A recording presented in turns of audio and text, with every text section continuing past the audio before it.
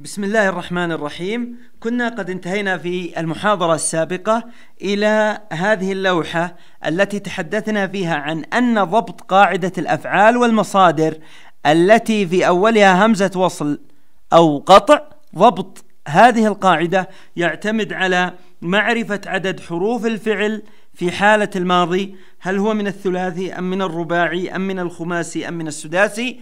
ووعدتكم في الدرس السابق أن نتحدث هذا اليوم إن شاء الله تعالى عن الفعلين الثلاثي والرباعي ونحن نقصد الذي في أوله همزة حتى نعرف هل همزته همزة وصل أم همزته همزة قطع.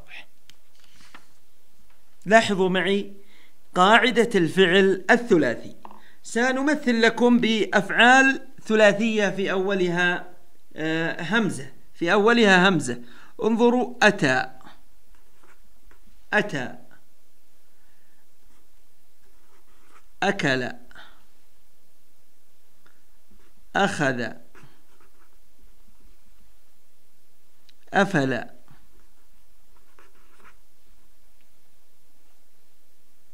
أسر أسف. أبى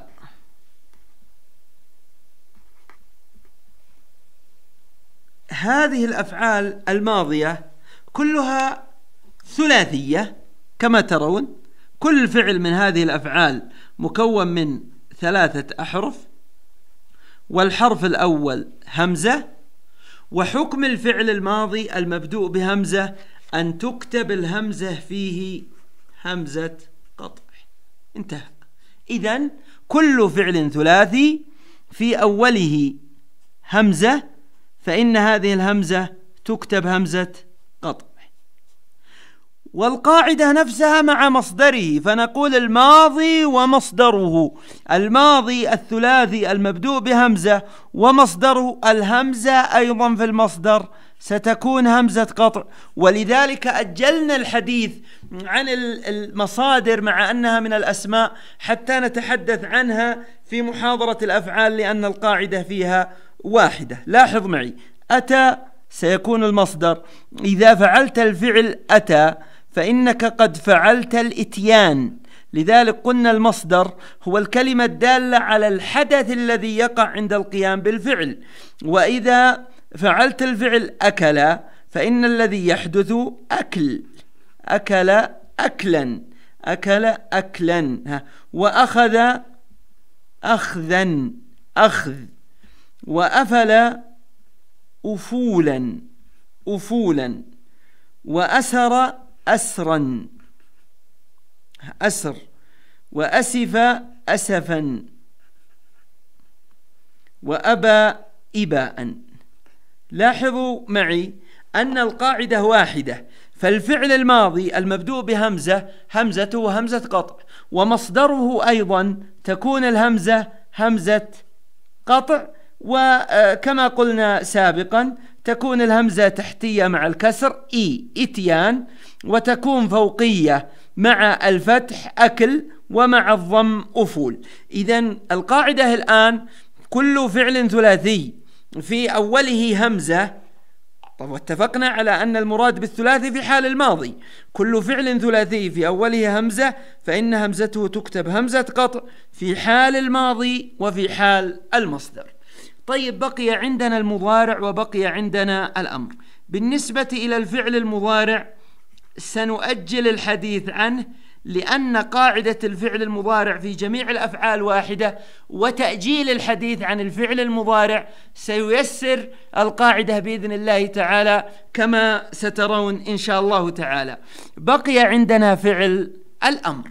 فعل الأمر من الفعل الثلاثي فعل الأمر من الفعل الثلاثي مختلف يخالف. هنا همزة قطع هنا همزة قطع أما فعل الأمر من الثلاثي فإن الهمزة فيه ستكون همزة ماذا؟ ستكون همزة وصل. ستكون همزة وصل.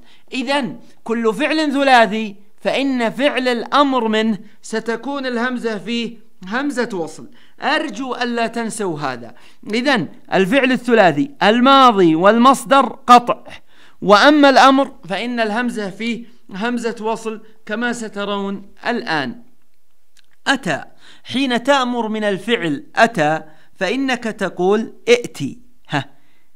همزة وصل؟ ائتي. بهذا الشكل. همزة وصل؟ هذه الهمزة التي في أول الأمر تكون همزة وصل. طبعا أكل آآ آآ لها فعل أمر خاص وهو كل كل وأصله آآ كل ولكن لكثرة استعماله فقد حذفت الهمزة. ولكن حسب القاعدة الأصل في همزته أن تكون همزة وصل. أيضا أخذ أصلها أخذ فالأصل في الهمزة أن تكون همزة وصل ولكن مع كثرة الاستعمال قالت العرب خذ. آه، آه، أفل اقفل اقفل اقفل. أفل اقفل. فتكون الهمزة همزة وصل كما ترون. أسر ائسر ائسر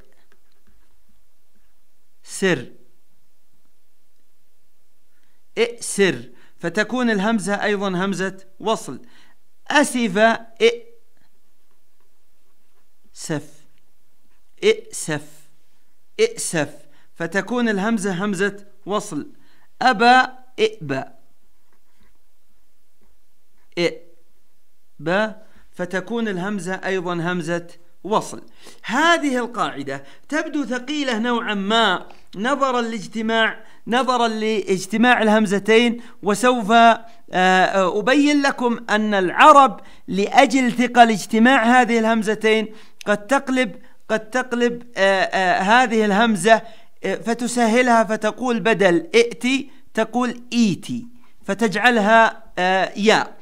ولكن المهم الذي أريد أن أنبه إليه الآن أن فعل الأمر من الفعل الثلاثي يختص بصفة أخرى وهو أن في أوله همزة في أوله همزة سواء كان الماضي في أوله همزة أو لم يكن. لذلك فعل الأمر من الفعل الثلاثي فيه همزة وصل مطلقا سواء كان الماضي فيه همزة كهذا أو لم يكن. مثل أي فعل ماضي على الإطلاق مثل كتب مثل شرب مثل ذهب مثل علم وجميع الأفعال دون استثناء. لاحظ هذه أفعال مكونة من ثلاثة أحرف. نحن لم نذكرها لأن في أولها همزة فليس في أولها همزة كما ترون ولكن ذكرناها لنبين لكم أن فعل الأمر من الفعل الثلاثي حكمه ثابت. في أوله همزة وصل سواء كان الماضي فيه همزة أو لم يكن. لذلك من كتب ستقول اكتب ومن شرب ستقول اشرب. ومن ذهب ستقول اذهب. ومن علم ستقول اعلم. لذلك القاعدة واحدة القاعدة واحدة. فعل الأمر من الفعل الثلاثي في أوله همزة وصل سواء كان الماضي في أوله همزة أو لا.